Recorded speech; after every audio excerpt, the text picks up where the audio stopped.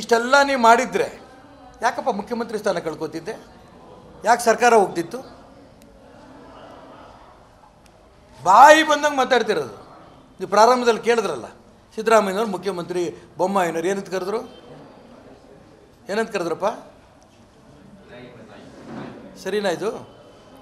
ಒಬ್ಬ ಮುಖ್ಯಮಂತ್ರಿ ಬಾಯಲ್ಲಿ ಮುಖ್ಯಮಂತ್ರಿ ಆದಂಥ ವ್ಯಕ್ತಿ, ನೀವು ಐದು ವರ್ಷ ಆಡಳಿತ ಮಾಡಿದ್ರಲ್ಲ ನಿಮ್ಮ ನಾಯಿ ಮರಿ, ಕತ್ತೆ ಮರಿ ನಾವು ಕರೆದ್ವಾ?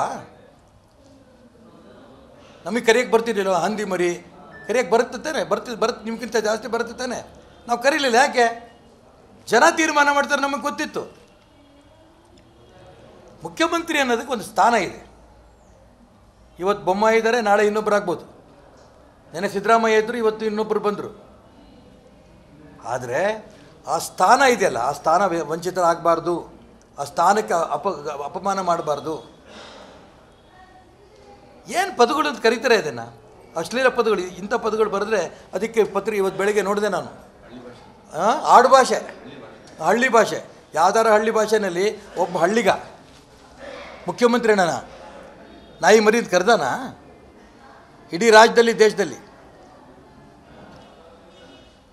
ಹಳ್ಳಿ ಭಾಷೆ ಅಂತ ಹಳ್ಳಿಗರಿಗೆ ಯಾಕೆ ಅವಮಾನ ಮಾಡ್ತೀರಿ? ಬಹಳ ನಿಮಗೆ ಗೌರವ ಬೇಕು ಅನ್ನಂಗಿದ್ದಿದ್ರೆ ಸಿದ್ದರಾಮಯ್ಯನವರೇ. ನಾನು ಹೇಳಿದ್ದು ಮುಖ್ಯಮಂತ್ರಿ ಸ್ಥಾನಕ್ಕೆ ಅಗೌರವ ಮಾಡಿದ್ದೇನೆ. ರಾಜ್ಯ ಜನ ಕ್ಷಮಿಸಿ ನನ್ನನ್ನು. ನನ್ನ ಬಾಯಲ್ಲಿ ಬಂದಂಥ ನಾಲ್ಗೆಯಲ್ಲಿ ಬಂದಂಥ ಪದ ತಪ್ಪು.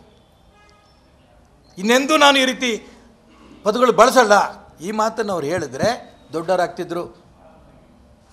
ಅವ್ರು ಹೇಳಿದ್ದೇನೆ, ಕಾಂಗ್ರೆಸ್ನವರು ಸೋ ಅಂತಾರೆ.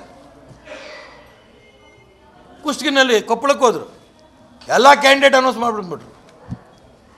ಅದಕ್ಕೆ ಅದನ್ನು ಅವರು ಸಾಬೀತು ಮಾಡಿ, ಮಾಡ್ಕೋತಾರೆ. ಹೌದು, ನಾ ಮಾಡಿದ್ದು ಹೇಳಿದ್ದು ಹೌದು ಅಂತ. ಉಳಿದಂಥ ಅವರ ಶಿಷ್ಯಂದ್ರಗಳಿದಾರಲ್ಲ. ಕಾ ಎಂಬ ಕ್ಷೇತ್ರದ ಕಾರ್ಯಕರ್ತರಿಗೆ ಪ್ರೇರಣೆ ಕೊಡೋಕ್ಕೆ ಹೆಸರು ಅನೌನ್ಸ್ ಮಾಡ್ತಾರೆ. ಮಾಡಪ್ಪ ಇನ್ನೂರ ಇಪ್ಪತ್ನಾಲ್ಕು. ನಿನಗೆ ಕ್ಷೇತ್ರ ಇನ್ನೂ ಇಲ್ಲ.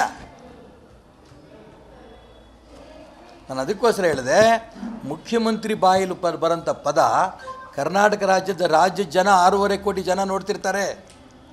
ಯಾವ ಮುಖ್ಯಮಂತ್ರಿಗೆ ನೀವು ಏನು ಪದ ಬಳಸಿದ್ಯಾ ಅಂತ?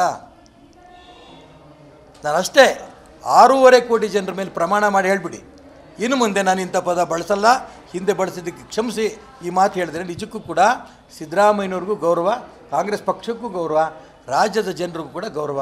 ಅಲ್ಲೂ ಕೂಡ ಹಳ್ಳಿ ಭಾಷೆ ನಾನು ಬಳಸಿದ್ದೀನಿ ಅಂತ ಪದ ಬಳಸಿ ಹಳ್ಳಿಯವ್ರನಿಗೂ ಅಪಮಾನ ಮಾಡ್ತಿದ್ದೀರಲ್ಲ? ನಾನು ಒಂದು ಹೇಳ್ಬಿಡೋದು ಈಗ. ಇದು ಹಳ್ಳಿ ಭಾಷೆ ನಾನು ಬಳಸಿದ್ದೀನಿ ಅನ್ನೋದು ಆ ಪದಗಳು ಹೇಳೋಕ್ಕೆ ನಂಗೆ ನಾಚಿಕೆ ಆಗುತ್ತೆ.